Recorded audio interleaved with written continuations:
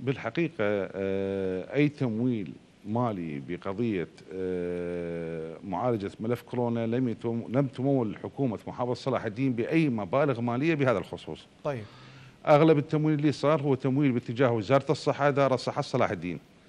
تم صرف مبالغ مالية لتعزيز آه، القدرة الاستيعابية للأسرة توفير الأدوية توفير المعدات اللازمة للسيطرة على وباء كورونا.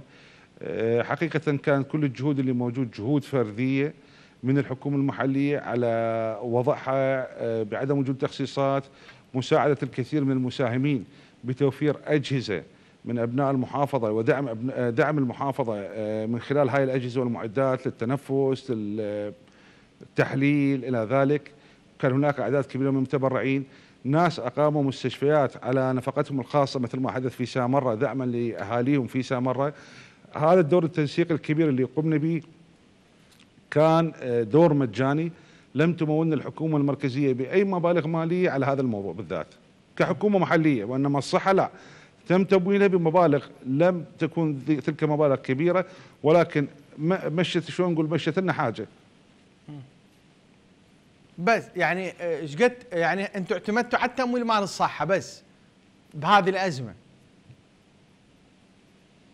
إي فقط إي بس اعتمدنا على التمويل مال الصحة مو كحكومة. دائرة آه. الصحه اللي قامت بالتمويل وقامت بالعمل اللي يخصها كدائرة الصحة مو إحنا كحكومة دخلنا بالتمويل هذا. طيب أنتم كحكومة شلون منين صرفتوا خلال هاي الفترة العاد